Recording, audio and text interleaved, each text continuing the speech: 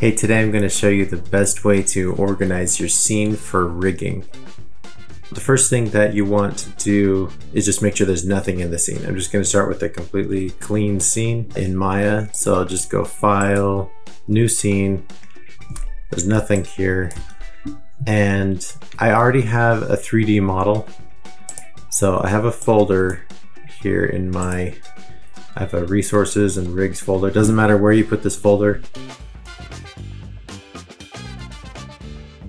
we're gonna set the project to this folder. So Ball-Luigi, that's the, that's the model. I'm going to go to File, Set Project, and then go find that folder. So got Ball-Luigi, and you just select the folder and hit Set. And it's going to ask you about creating the workspaces. Just say yes, create default workspace. And now let me show you what it did. It just added this folder in in here so that while I'm working on this rig, it can reference those things and know that this is the folder that I'm working out of. Now I'm just gonna drag my model into the scene. So where are you? And maybe I'll set my world Right now I'm set to centimeters. I'm going to set it to meters so that it fits this. So Windows, Settings and Preferences, Preferences. Go to Settings, set it to meters. Okay. I like to rig when I can see the grid clearly.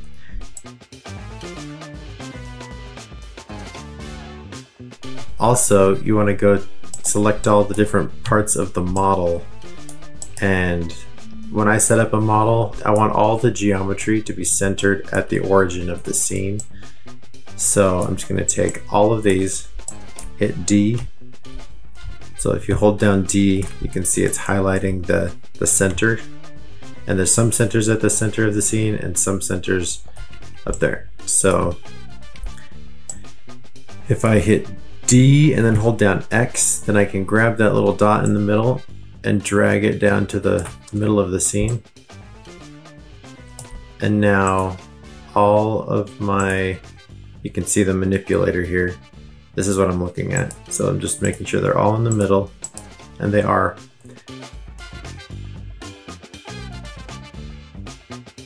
But you can also see this isn't clean geo. Over here on the side, there's values in all these transforms in the channel box. I just want to freeze all that. So you can either go to modify freeze transformations or you can click this little snowflake here in the poly modeling tools. Does the same thing. And you can grab more than one and do it at the same time. All right. So now we've set our project and we have a clean model in here.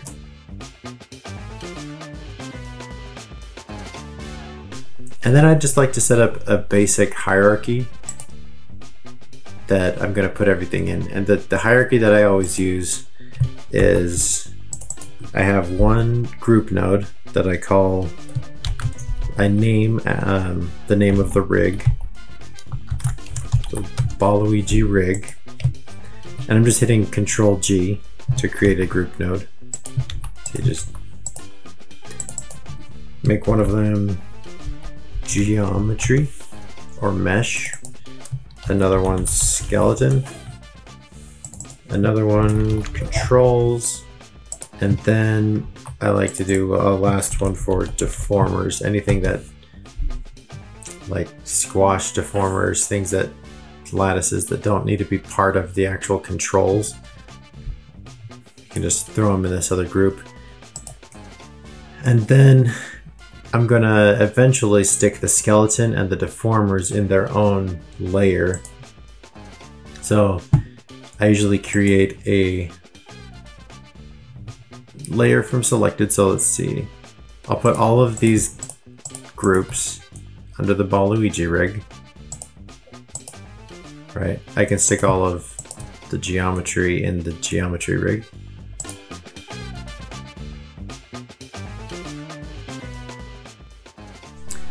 I actually, this isn't quite clean because I've got namespaces here. See where there's like a, a colon? Baluigi underscore model colon body.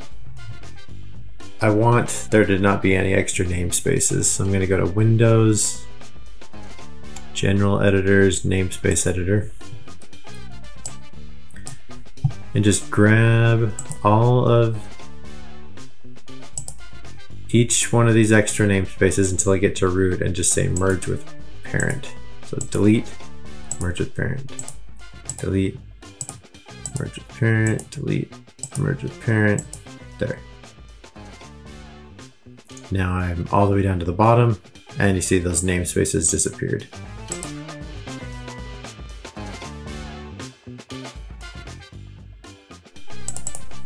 Double click on that. Just name these Geo. It's important that you put these suffixes on each thing as you're naming them and don't just name everything the, the body part because if you have a joint or a control or whatever that is has that same name it's going to confuse Maya. So Maya doesn't do well with things that are named the same thing. So you want to just make sure that each thing is unique. And so an easy way to make it unique is just to put the modifier at the end. So this is geometry. I'm going to say geo is my modifier. Okay, now let's just reconnect the materials and I think we'll be good to go. So hopping over to the attribute editor, there's this Lambert 2 and see this this little box with the arrow next to it that means that there's a file that is being used to replace the color. So it's the Baluigi texture. So now I just have to go find it. Oh, it's right there. So I hit 6 and it's open. Okay, so let's just double check everything. Make sure it's all clean and ready to go. Got none of these have any transform values. None of the geo has transform values.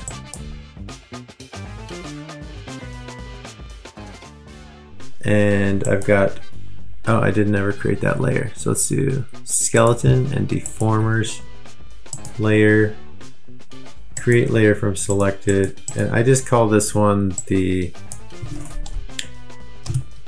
the do not touch layer. And you want to put layer at the end for the same reason. If you have a group that was named like Mario Ball Mesh, right? That could have been this and that's not even what this is. You just let's just delete these layers. I don't know. That that came across with the uh, the model.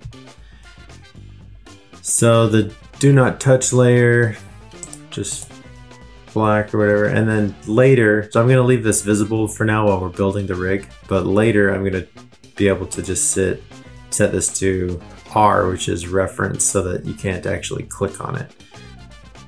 So that's something for later. And then for the mesh, I can just grab the geometry group and do create layer from selected. Call this geometry. Geometry layer, since I called it geometry over there, right? This is ge the geometry group, and this is the geometry layer. And since it's Luigi, let's make it green. Alright. We gotta save it. So, always remember to save everything. Because Maya hates us and is going to break. So, save scene as Luigi Rig 001. Okay. There we go. Clean scene. No transforms on anything. I've got my layers that I can use later. And my groups that I can use later. This is where I'm going to put everything. And yep. So I hope that was helpful and I'll see you in the next video.